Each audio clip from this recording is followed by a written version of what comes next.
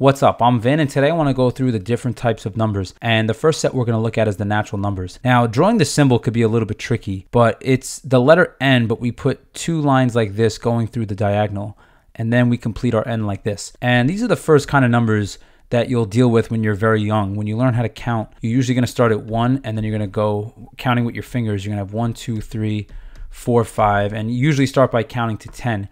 But the natural numbers continue we're going towards infinity. So the set of natural numbers is infinite, but it's the positive whole numbers. Now, the next set of numbers we could look at is the whole numbers, which we indicate with W. And this set W for the whole numbers is going to start at zero, and then it's going to be all the positive whole numbers, all the natural numbers after zero. So we have zero, one, two, three, and then four, five, but I'm going to stop counting because this is going to go on to infinity. So the next set of numbers to look at are very important, the integers. And the way we draw the symbol for the integers, when we write in our Z, we're going to put a double line for the diagonal like this. And the integers are all the whole numbers. We have zero, one, two, three. 1, 2, 3, and we're going to go on forever towards positive infinity. However, we also have the opposites of the natural numbers. So we're going to have negative 1, negative 2, negative 3, and we're going to go on towards negative infinity in this direction here. So now the next set of numbers here is the rational numbers. And now it's going to get a little bit trickier to list them. The symbol for the rational numbers is the Q, but we put a vertical line through like this. And examples of rational numbers here. So some examples would be something like one third. We could have a terminating decimal. So we have something like 5.7. We could have an infinite decimal that has a pattern to it. So something like, let's say it was repeating 1, 3 like this. So 1, 3, 1, 3, 1, 3 going on forever. But just know all of the integers are also considered to be rational numbers. So something like negative 3, we could say 0, 12. So the list will go on and on and on. But now, what are rational numbers? Like, how do we condense this into just one idea?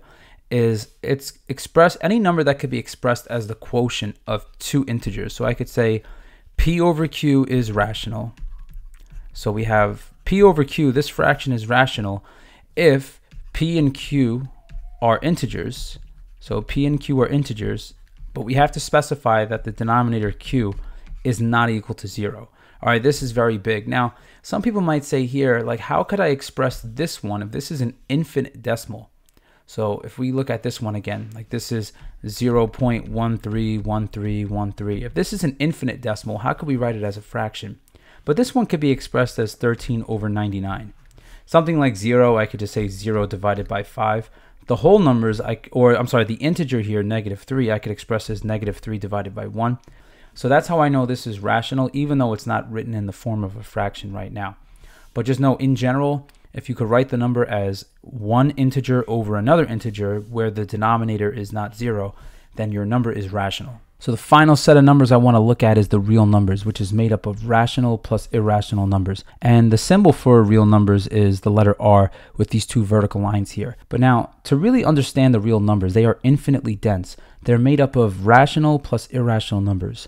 Now, we define rational numbers here, but irrational numbers, if we use this definition, cannot be expressed as the quotient of two integers. So some popular ones are Euler's number E, we have pi, and then we have the square root of non-perfect squares. So something like we have square root 2, square root 3, square root 4 wouldn't work because the square root of 4 is equal to 2, so this would be a rational number, and this counts as one of our natural numbers, our whole numbers, our integers. But if I continue here, I could go to square root 5, square root 6, square root 7, and let's say I take a look at square root 7 the square root of 7 is equal to 2.64 and then I'll just write out the rest of the digits here that will pop up on the screen on a calculator. So this will continue on forever, but notice here there's no clear pattern. But for something before, like let's say 0.13 repeating, the pattern is obvious. It's just 131313 forever. So that's the main difference between a rational number and an irrational number, where a rational number can be infinite, the decimal can be infinite. However, with an irrational number, it goes on forever, but there's no clear pattern the way there is for rational numbers.